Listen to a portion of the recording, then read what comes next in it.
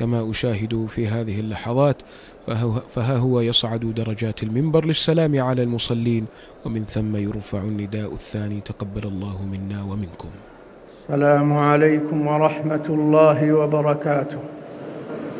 الله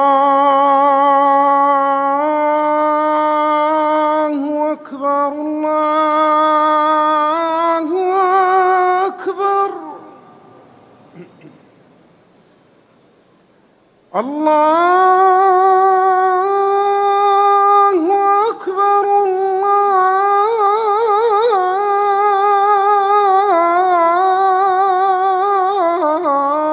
الله أكبر.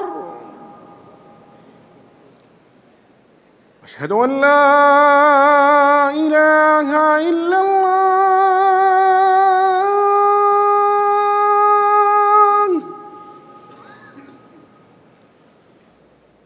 أشهد أن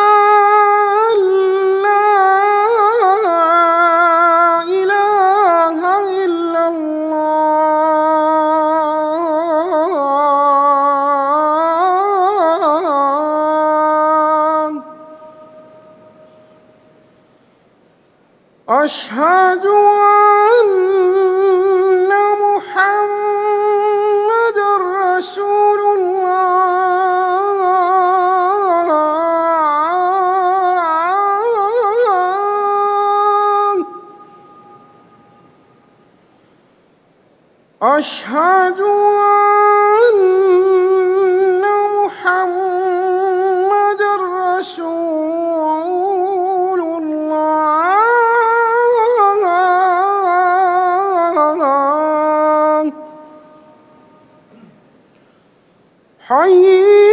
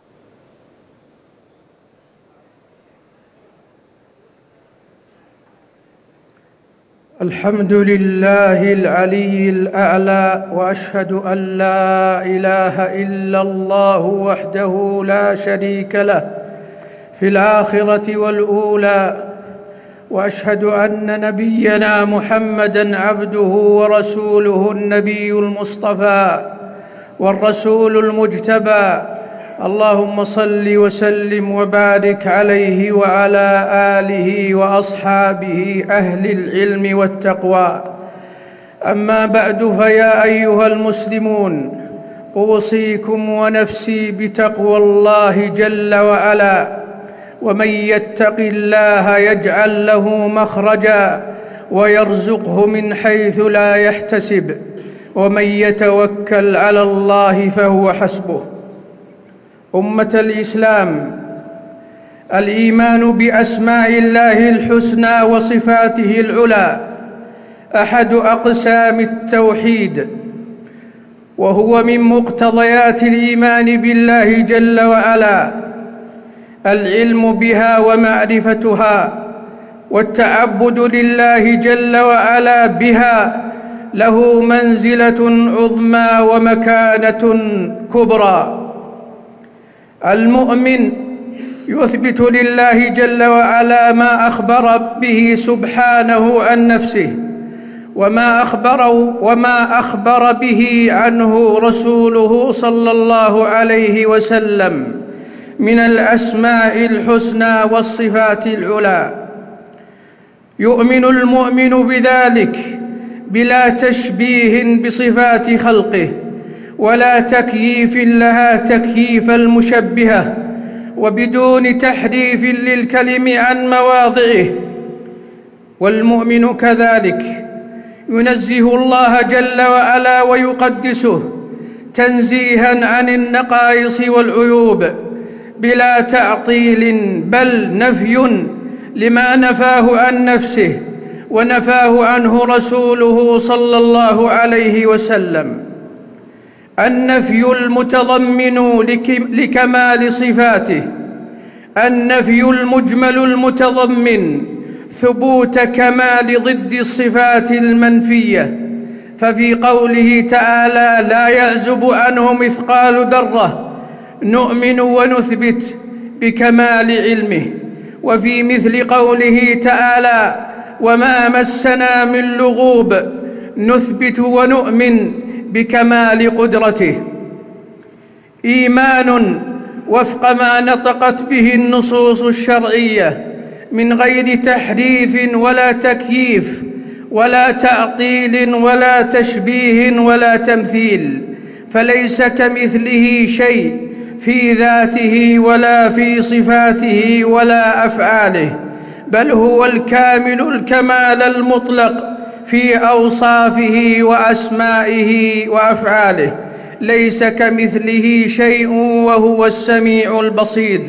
قال ابن عبد البر رحمه الله أهل السنة مجمعون على الإقرار بالصفات الواردة كلها في القرآن الكريم والسنة والإيمان بها وحملها على الحقيقة لا على المجاز. إلا أنهم لا يكيفون شيئا من ذلك ولا يحدون فيه صفة محصورة.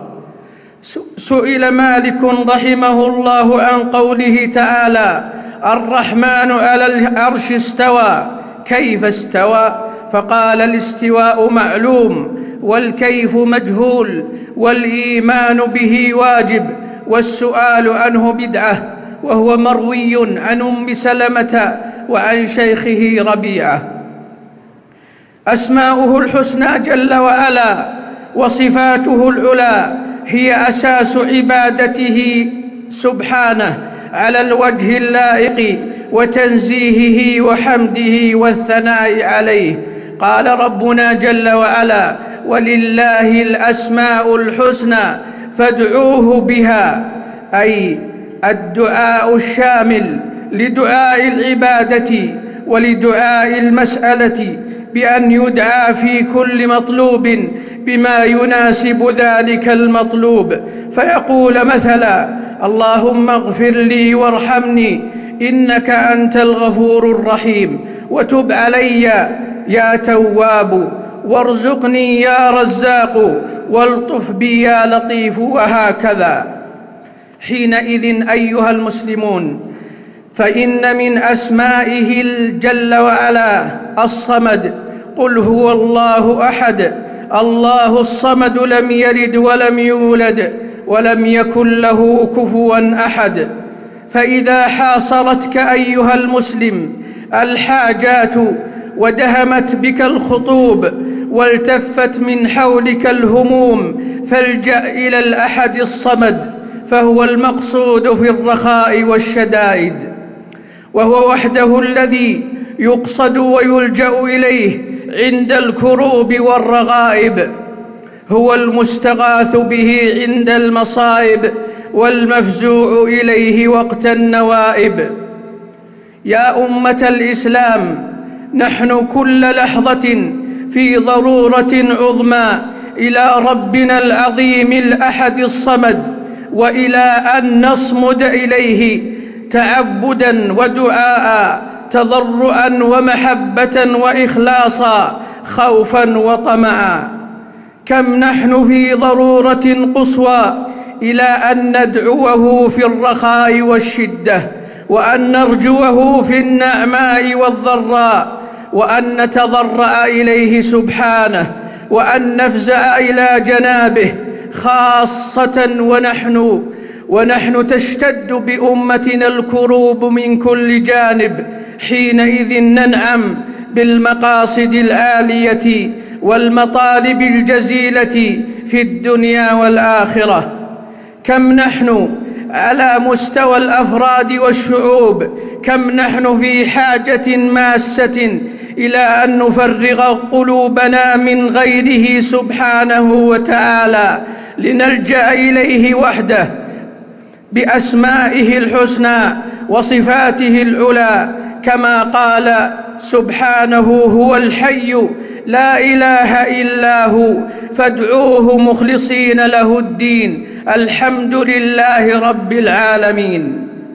قال ابن تيمية رحمه الله والمقصود هنا أن الخليلين محمد وإبراهيم أن الخليلين محمد محمدا وإبراهيم عليهما السلام هما أكمل خاصة الخاصة توحيدا وكمال توحيدهما بتحقيق إفراد الألوهية وهو أن لا يبقى في القلب شيء لغير الله أصلا. انتهى هذا الكلام الدقيق. كم يشعر الإنسان في هذه الحياة؟ بحالات يكون فيها في خطر عظيم كما هو حالنا اليوم. فلا مفر من تلك الأخطار إلا بالحفيظ المتين الصمد العظيم. هو وحده من يحفظ مصالحنا هو الذي بيده دفع الضرر والخطر عنا. هو الذي يحفظ أولياءه من الهلكات ويلطف بهم في جميع الحركات والسكنات. الله هو الأحد الصمد الذي يصمد إليه في الحوائج والمسائل ويقصده الخلائق كلها في في جميع حاجاتها وأحوالها وضروراتها. لما له سبحانه من الكمال المطلق في ذاته وأسمائه وصفاته وأفعاله. كيف يشقى المسلم؟ كيف تشقى أمة الإسلام؟ وربها الأحد الصمد المتصف بكل كمال هو السيد الكامل في سؤدده. الكامل في جميع صفات الشرف والسؤدد والكرم والجود والغنى والعلم والحكمة وسائر أوصاف العظمة والكبرياء والمجد والجلال والعزة والقهر والقدرة والجبروت والرحمة والبر. فيا أيها العبد يا أيتها الأمة ارغب إلى ربك. أيتها الأمة ارغبي إلى ربك. وأخلصي له الدعاء أخلصي له العبادة والتوكل والرجاء والخوف والحب والإنابة والإخبات والخشية والتذلل والخضوع فإذا فرغت فانصب وإلى ربك فارغب فحينئذ سنجد العزة والنصر في كل ما نطلب ونرغب. يا من ضاقت عليه السبل وصعبت عليه الحيل اقصد باب ربك وانطرح بين يديه فإذا ضاقت بك الأحوال يوما فثق بالواحد الفرد العلي فهو سبحانه هو سبحانه اللطيف بعباده الذي أحاط علمه بالسرائر والخفايا وأدرك البواطن والخبايا. إن الله لطيف خبير إن ربي لطيف لما يشاء اللطيف الذي إذا أراد شيئا هيأ أسبابه بكامل اللطف. وتمام الخفاء حتى إنه ليقع. ما يستحيل في العادة وقوعه. هو ذو الكرم هو ذو الكرم المتناهي. فمتى تواطأت ضدك الكروب وتكالبت عليك الأزمات فالجأ إلى الصمد الجبار الذي يجبر الكثير وينجي المكروب ويكشف الضراء والبأساء. فما من أسى إلا وهو رافعه وما من مرض إلا وهو شافيه وما من بلاء إلا وهو كاشفه فهو ذو القدرة الكاملة والمشيئة النافذة يرفع الكروب ويكشف الخطوب أمن يجيب المضطر إذا دعاه ويكشف السوء ويجعلكم خلفاء الأرض. قل الله ينجيكم منها ومن كل كرب. فالجأ أيها المسلم إلى ربك الذي بالقرب منه تجد أنسا وسرورا وصلاحا وزكاء وفلاحا ونجاحا وسكينة واستقرارا.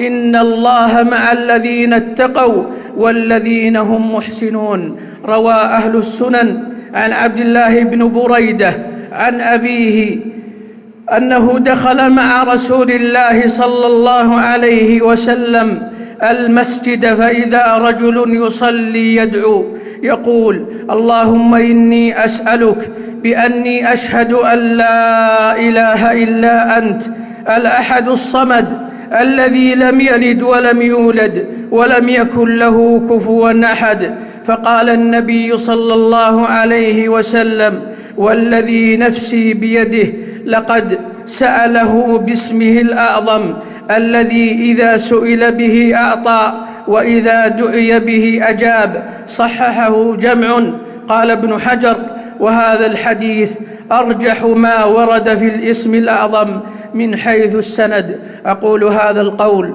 وأستغفر الله لي ولكم ولسائر المسلمين من كل ذنب فاستغفروه إنه هو الغفور الرحيم.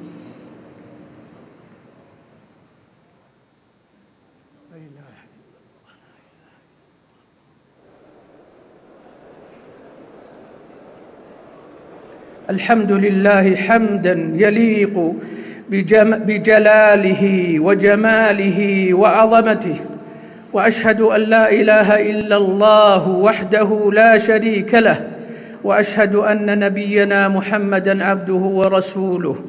اللهم صل وسلم وبارك عليه وعلى آله وأصحابه.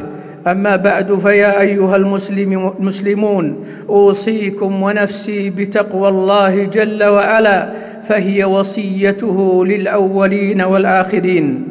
أيها المسلمون الضرورة ملحة لكل مسلم أن يتشبع قلبه بتدبر معاني الأسماء الحسنى لربه وما له من نعوت الجلال وصفات الكمال.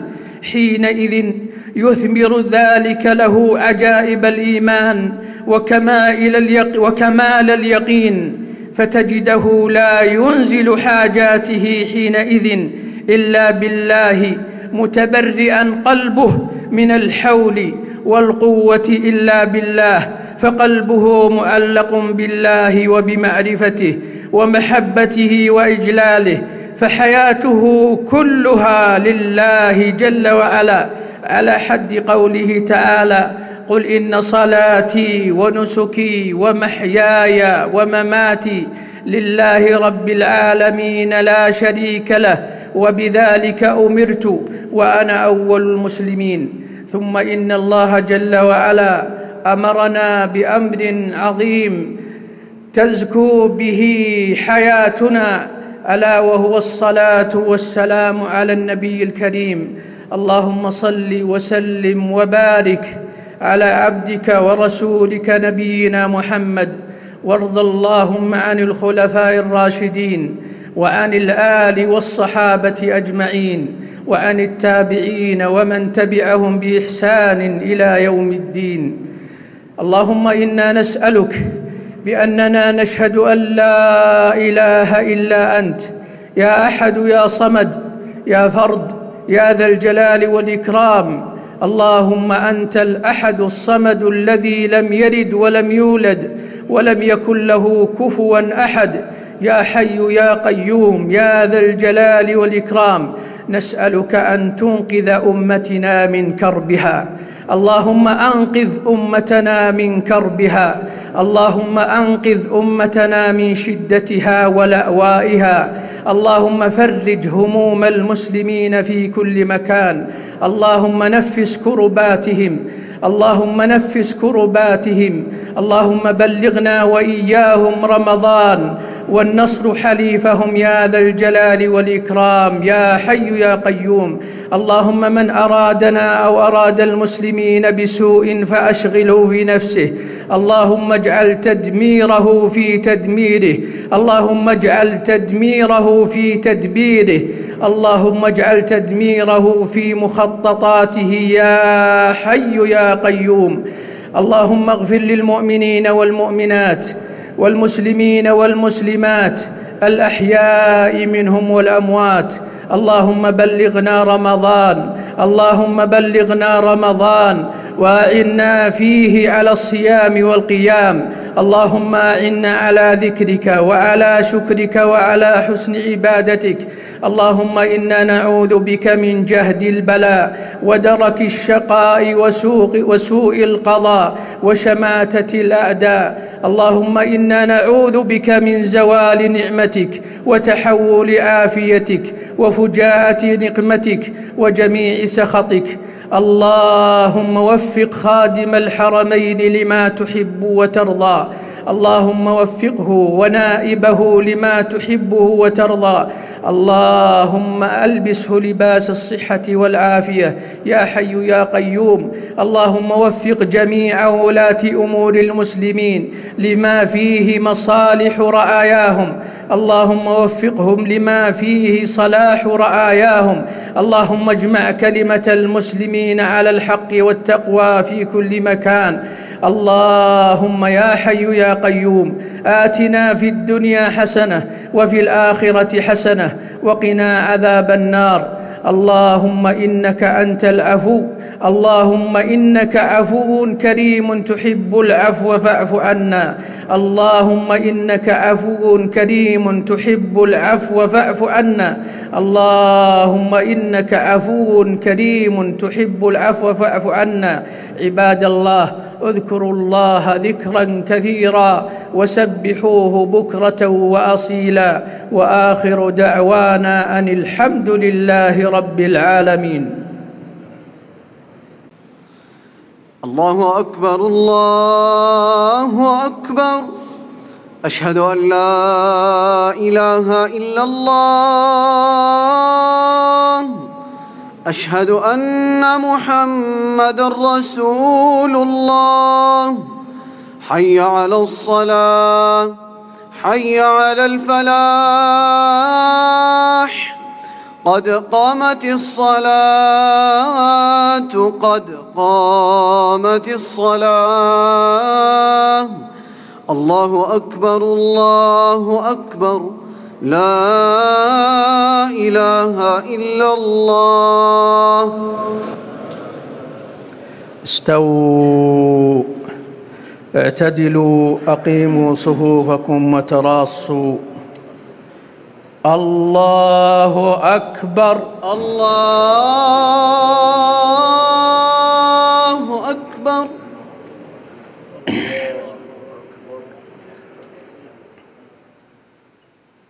الحمد لله رب العالمين. الرحمن الرحيم. مالك يوم الدين. إياك نعبد وإياك نستعين. اهدنا الصراط المستقيم. صراط الذين أنعمت عليهم.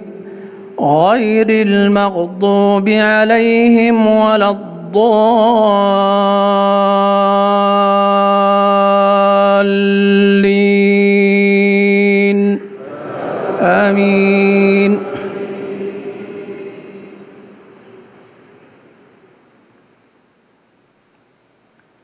لإيلاف قريش إيلافهم رحلة الشتاء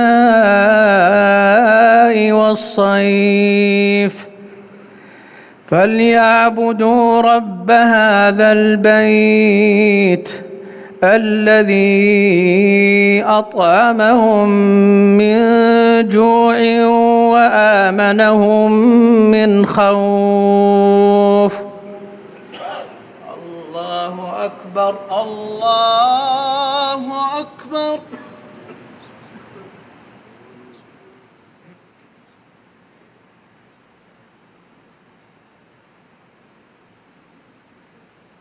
سمع الله لمن حمده. ربنا ولك الحمد.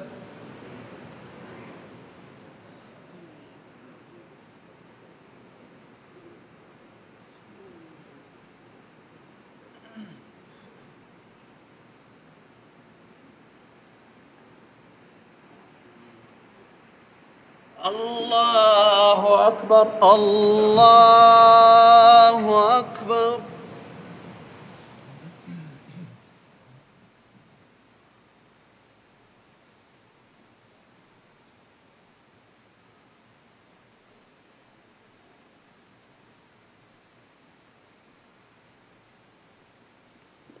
الله أكبر. الله أكبر.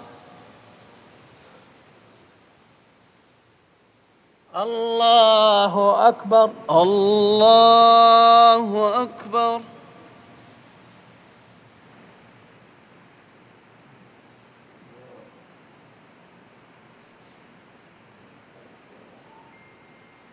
الله أكبر. الله أكبر. الحمد لله رب العالمين. الرحمن الرحيم. مالك يوم الدين. إياك نعبد وإياك نستعين. اهدنا الصراط المستقيم. صراط الذين أنعمت عليهم غير المغضوب عليهم ولا الضالين. آمين.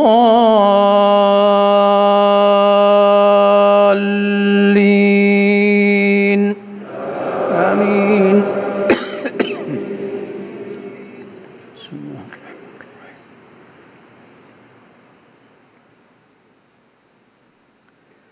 قل هو الله أحد الله الصمد لم يلد ولم يولد.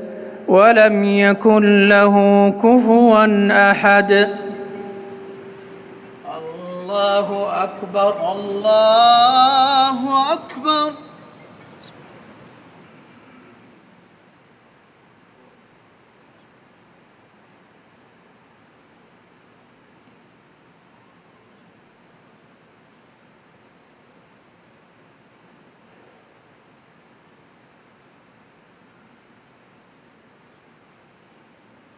سمع الله لمن حمده. ربنا ولك الحمد.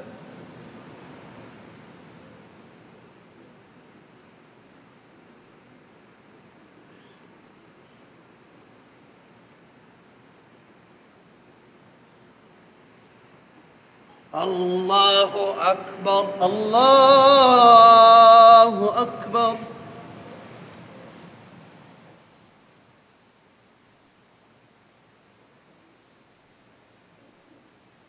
الله أكبر. الله أكبر.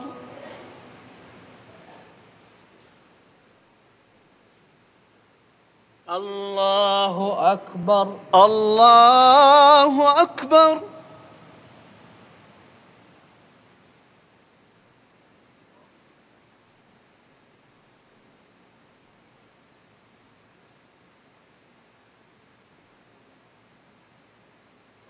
الله أكبر. الله أكبر.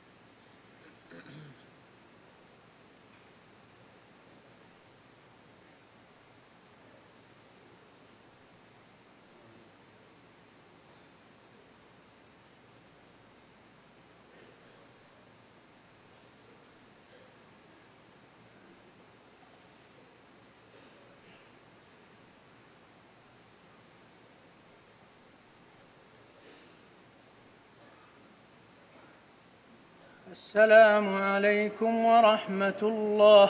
السلام عليكم ورحمة الله.